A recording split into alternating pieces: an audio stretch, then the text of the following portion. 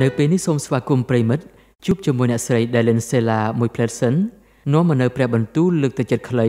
ដែលឆ្លុះបញ្ចាំងពីបរិតីស្រឡាញ់និងការថែរក្សាដែលមកពីព្រះអង្គប្រែសម្រួលសម្លេងជាភាសាខ្មែរដោយអ្នកនាងដួងម៉ាណាសូមស្វាគមន៍ប្រិមិត្តមកកាន់នីតិពាក្យលើកទឹកចិត្តប្រធានបទថ្ងៃនេះនិយាយអំពី របៀបបញ្ឈប់ការនិយាយដើមគេព្រះបាទសាឡូមោនដែលជាស្ដេចប្រកបដោយព្រះប្រាជ្ញាញាណបានមានបន្ទូលថា ពាក្យសម្ដីរបស់មនុស្សបេះបួយធៀបដូចជាម្ហូបយ៉ាងឆ្ងាញ់មួយម៉ាត់ដែលបានចូលទៅក្នុងពោះព្រះគម្ពីរភាសាខ្មែរបច្ចុប្បន្នបកប្រែថា ពាក្យសម្ដីរបស់មនុស្សអុចអាលប្រៀបដូចជាចំណីយ៉ាងឆ្ងាញ់ជាប់នៅក្នុងចិត្តសុភាសិតចំពុក18ខ8ជួនកាលយើងដែលជាគ្រីបរិស័ទអាចតាំងខ្លួនជាមនុស្សសុចរិតខ្លាំងពេកកូនស្រីរបស់ខ្ញុំនាងធ្លាប់បាននិយាយថា គ្រីបរិស័ទមិននិយាយដើមគេទេ ពួកគេគ្រាន់តែចែករំលែកនៅសំណុំពរអធិដ្ឋានប៉ុណ្ណោះខ្ញុំគិតថាកូនស្រីរបស់ខ្ញុំគាត់និយាយត្រឹមត្រូវណាស់នៅពេលដែលយើងអង្គុយជារង្វង់ដើម្បីអធិដ្ឋានជាមួយគ្នាជារឿយរឿយយើងចំណាយពេលនិយាយអំពីមនុស្សដែលត្រូវការការអធិដ្ឋាន ច្រើនជាងអធិដ្ឋានសម្រាប់ពួកគេទៅទៀតព្រះជាម្ចាស់ស្អប់ការនិយាយដើមគេព្រះគម្ពីរពរនីមនុស្សបាបដែលមិនគោរពប្រណិប័តព្រះជាម្ចាស់ថា ពួកគេមានពេញដោយសេចក្តីទុច្ចរិតគ្រប់យ៉ាងសេចក្តីអាក្រក់សេចក្តីលោភលន់និងសេចក្តីព្យាបាទក៏មានពេញដោយសេចក្តីឈ្នានីសការកាប់សម្លាប់ឆ្លុះប្រកែកបោកបញ្ឆោតកិច្ចកល ហើយគ្រាចុងក្រោយគឺថា ពួកគេចូលចិត្តនិយាយដើមរួមជំពូក1ខ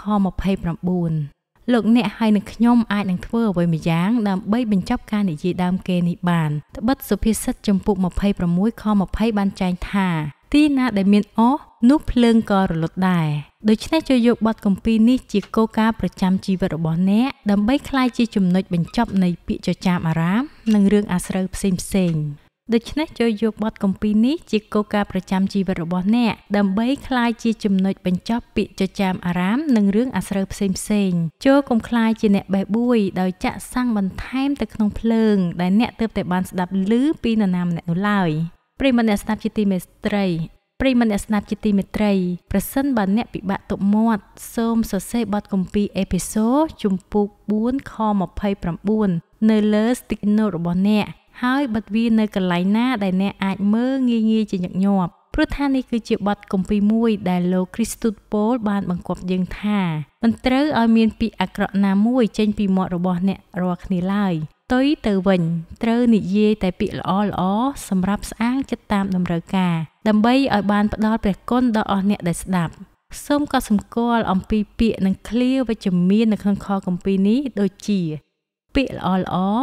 ស្អាងចិត្ត ផ្ដល់ព្រះគុណដល់អស់អ្នកដែលស្ដាប់និយាយតាមត្រង់យើងទាំងអស់គ្នាសុទ្ធតែជាមនុស្សដែលឆាប់ចែកចាយបន្តនៅការនិយាយដើមគេដូច្នេះចូលយើងទូលសូមព្រះជាម្ចាស់ដើម្បីជួយយើងក្នុងការពន្លត់ភ្លើង ពាក្យដែលនាំឲ្យមានការឈឺចាប់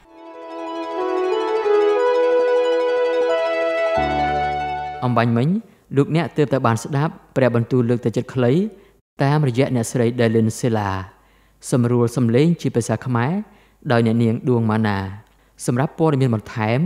ឬចង់ស្វែងរកធនធានផ្សេងទៀតសូមចូលទៅកាន់គេហទំព័រ www.guidelines.org បើមានចំណាប់អារម្មណ៍យ៉ាងណា ចំពោះកម្មវិធីនេះសូមគ្រាន់តែផ្ញើអ៊ីមែលទៅកាន់ info@guidelines.org សូមអគុណសូមព្រះប្រទានពរ